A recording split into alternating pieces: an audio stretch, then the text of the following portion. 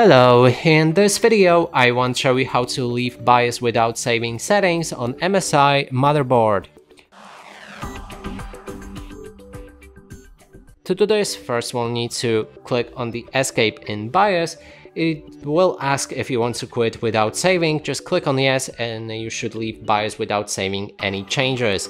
And that's it for this video, hope you like it, please consider subscribing to our channel, leave a like and a comment below. Thank you.